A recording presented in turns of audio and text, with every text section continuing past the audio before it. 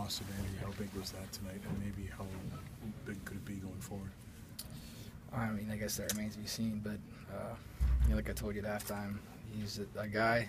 He's a leader in the locker room. Um, his play speaks for himself. But there's so much that he does for us, uh, for me, that uh, is unseen. So it's a huge loss. Um, you know, guys are going to get their chance to step up and fill that role. But um, you know, I don't want to take anything away from Andy because he's, an, you know, like I told you guys this week, he's an unbelievable player, unbelievable person, and just. Uh, a great locker room voice for us, and, and just a great uh, role model for you know, this town. I imagine you'll be when you're looking back on the tape, will be the little details in some of those drives, just missed opportunities, missed throws.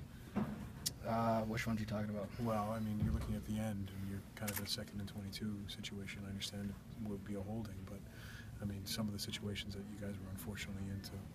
Oh yeah, uh, you know penalties, you know drive stop, you know drive stopping penalties are why you call them drive stopping penalties. You know it's there's not many calls for first and 20 and you know for second and 20. Um, you know, I, I, give, I wish I could give you a, a better answer, but uh, uh, from a throw standpoint, from a decision standpoint, I'd have to watch the film and give you give you something better on day one. How did you feel yourself out there? I felt good, and uh, it's a perfect night for football. Um, you know, this is a great place to play. Lights are low. Just, you know, I, I felt great.